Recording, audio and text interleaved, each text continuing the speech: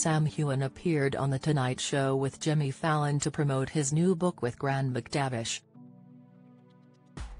The Balmaclellan-born actor 43, is currently set to release his third book, Clanlands in New Zealand, Kiwis, Kilts, and an Adventure Down Under, with Outlander co-star Graham McTavish, 62.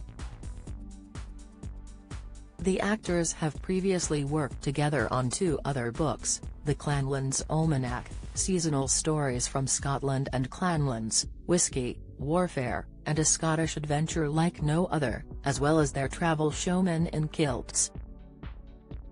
During his appearance on the popular U.S. talk show, the Jamie Fraser actor made an X-rated confession when discussing his travels in New Zealand. Discussing the book, Fallon pulled up a photo of the two Scottish actors posing in kilts on top of a glacier. The US star said, so you're sticking with the kilts, here is the pair of you in kilts on a glacier. As Heughan quipped, that's me in New Zealand, on a glacier in commando. I claim to be the first person in commando on a glacier.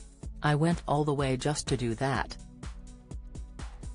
Speaking about the book, he said, we went to New Zealand and it's this amazing place. Honestly it's a bit like Neverland with Peter Pan. There's islands, Terrace Alpines, Terrace Glaciers, Terrace Fjords, Terrace Jungle. There's incredible animals and wildlife. They've got flightless birds and great white sharks, Outlander is available to stream on Starz in the US and Lionsgate Plus in the UK.